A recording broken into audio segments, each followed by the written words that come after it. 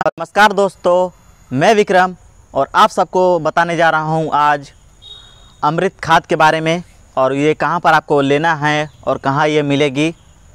अगर आप चैनल में नए हैं तो चैनल को सब्सक्राइब कर लीजिएगा, वीडियो को लाइक कर दीजिएगा और बेल आइकन प्रेस कर लीजिएगा ताकि मैं जब भी नई वीडियो अपलोड करूँ तो आप तक नोटिफिकेशन पहुँच जाए। तो चलते हैं वीडियो की ओर। तो देखिए, ये अमृत जल है।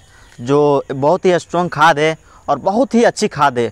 हम लोग पिछले एक साल से यूज़ कर रहे हैं और इसकी बहुत अच्छी रिज़ल्ट है और बहुत ही कम दिनों में ये खाद तैयार हो जाती है।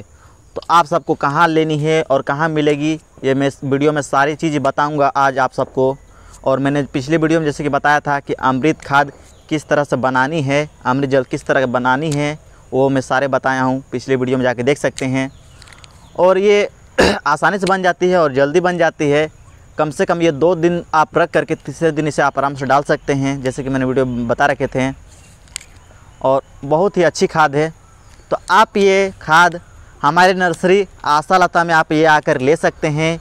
ये सुबह मॉर्निंग छः से छः खुली रहती है, बट ये खाद आपको छः से चार बजे तक मिलेगी। क्योंकि चार बजे के बाद हम लोग इसे अपने पौधों में डाल देते हैं, जो खाद बचती है, वो हम लोग अपने खाद पौधों में डाल देते हैं। और आप इसे यूज़ करके देखिए।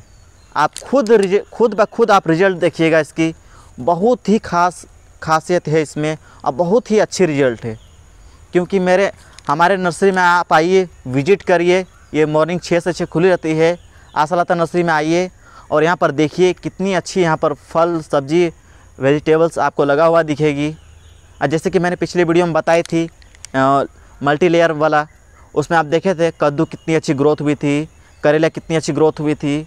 मतलब लगभग सारे सब्ज़ी बहुत ही अच्छी ग्रोथ हुई है तो ये खाद का ही कमाल है। और अभी हम थोड़ी देर बाद आपको ले जाएँगे आपको मिर्ची के पास, और आप देखेंगे मिर्ची कितनी अच्छी ग्रोथ हुई है। और मिर्ची में सारे हाँ तो देख रहे हैं ये ये अमृत जल का देखिए कमाल, कितनी अच्छी ग्रोथ हुई है आप मिर्चे देख रहे हैं, मिर्चे की ये साइज़ कितनी लंबी साइज़ हुई है और कितनी अच्छी हुई है। और सारे पौधे आप देखिए, कितने अच्छे ग्रोथ हुई है और कितने ग्रीनेस हुए हैं। और किसी भी पौधे में कीड़े आपको नज़र नहीं आएँगे। तो ये खासियत है ये खाद की। ये दो खाद तरह की काम करती है। ये आप अपने पत्तों में भी डाल सकते हैं पौधों में डाल सकते हैं, जड़ में डाल सकते हैं। आप जिस तरह चाहें उस तरह डाल सकते हैं। मात्र ये दस रुपये करके ये लीटर हम लोग आसलता नर्सरी में देते हैं। आप आइए आसलता नर्सरी में और यहाँ से दस, आप आइए आसलता नर्सरी में और यहाँ से लेके जाइए खाद। हफ़्ता में एक दो बार ये खाद ज़रूर डालिए। मात्र दस रुपये करके लीटर मिलती है। आप एक लीटर ले जाएँगे और इसे दो लीटर बनाइए अपने घर में और अपने terrace garden, home garden, kitchen garden किसी भी तरह का गार्डन हो, आप उसमें आराम से डालिए, बेझिझक डालिए। इसका कोई भी रिएक्शन नहीं है, कोई भी हानि नहीं करती है। अगर आप इसे थोड़ा ज़्यादा भी दे देते हैं तो कोई हानि नहीं करती है। तो लगाएँ इसे, ज़रूर डालें अपने गार्डन में। हाँ तो